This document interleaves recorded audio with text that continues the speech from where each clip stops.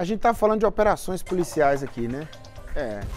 Mas eu gostei dessa ideia aqui, ó. Uma ação educativa foi realizada pelas militares da Patrulha de Prevenção à Violência Doméstica na manhã dessa sexta-feira. Olha se não é uma coisa linda. Durante as abordagens da Blitz Doce, é o nome, Blitz Doce, olha lá, ó. Aí sim, hein? Aí todo mundo quer ser parado.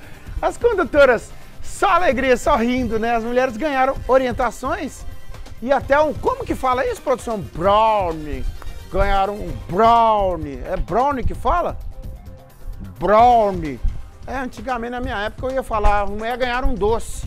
Não pode falar, tem. Ganharam esse negócio aí, o brownie. Balança aí, ó homenagear o público feminino. Esse foi o objetivo de uma blitz educativa no Dia Internacional da Mulher. Uma ação desenvolvida pela Polícia Militar por meio da Patrulha de Prevenção à Violência Doméstica, em Governador Valadares. De acordo com o Fórum Brasileiro de Segurança Pública, o estado de Minas Gerais está em segundo lugar quando se trata em feminicídio no Brasil.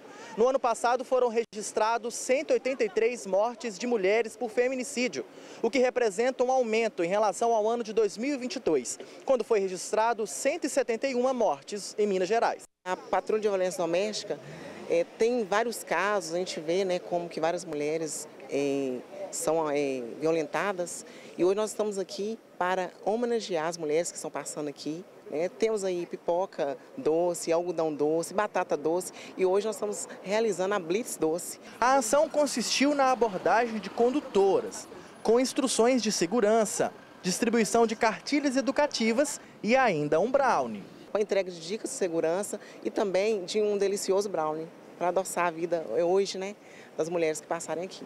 A iniciativa deixou feliz quem passava pelo local.